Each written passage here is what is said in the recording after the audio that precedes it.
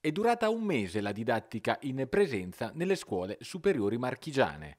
Appena il 25 gennaio scorso gli istituti riaprivano le porte e tra l'altro lo facevano solo per ospitare il 50% degli studenti.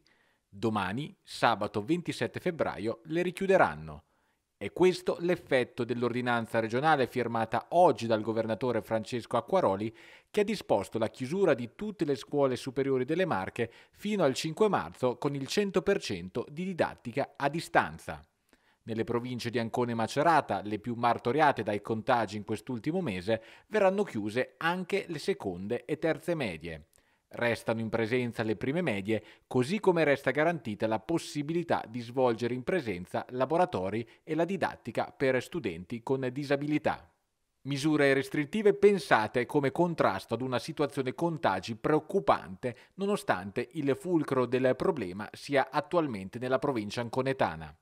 Sono infatti 333 le classi scolastiche in quarantena nelle Marche, ovvero il 3,19%, e sono circa 3.400 i ragazzi in quarantena in provincia di Ancona, cioè più dei 3.000 che si contano in tutte le altre province marchigiane.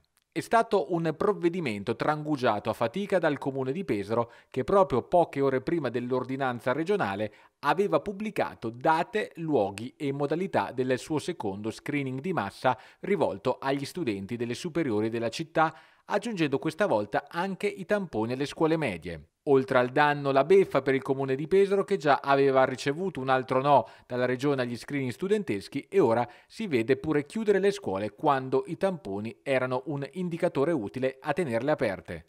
Comune di Pesaro deciso però a riorganizzarsi, tant'è che domani presenterà un piano rivisto di screening conseguente all'ordinanza regionale.